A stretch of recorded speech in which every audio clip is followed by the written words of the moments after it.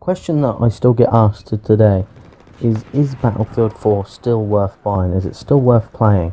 Is it dead? And that's what we're going to find out in this video. There are many things you have to take in mind before we can class Battlefield 4 as dead.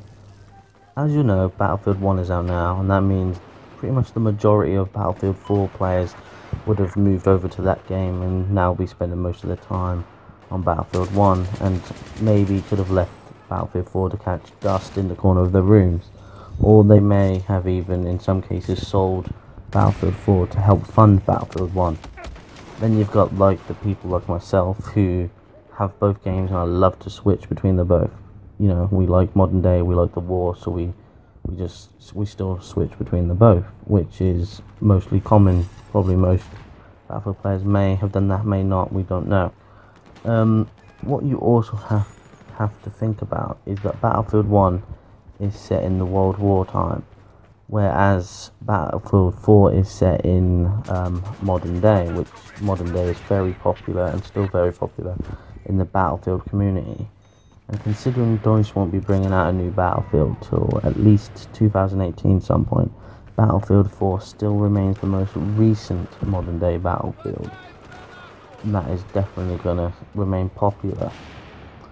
The servers um, pretty much remain full. I haven't had any trouble finding a game mode or a full game in any of the game modes I've searched for as of yet. Um, although you'll need pretty much all the DLC if you want to avoid struggling to find a game or even a full game. There's no point in playing a 5 versus 3 match on Battlefield. Um, now, with the DLC, if you haven't got premium, don't worry, okay? As long as you've got an EA Access account, um, an EA Access account will give you Battlefield 4 for um, £4 a month with all DLC or £20 a year. That will come with all the DLC. Um, that is definitely a bonus, a bargain to get hold of instead of going out and buying it separately, which is going to cost a lot more than that.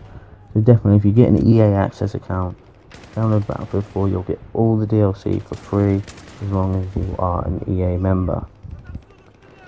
So no, Battlefield 4 isn't dead. With the addition of the DLC, Battlefield 4 remains playable and will easily see out till the next Battlefield in 2018, which is expected to be another modern day Battlefield. So until then, Battlefield 4 is definitely worth a pickup from the shop, um, or even on EA Access. And the servers remain full, so you shouldn't have a problem as long as you got the DLC.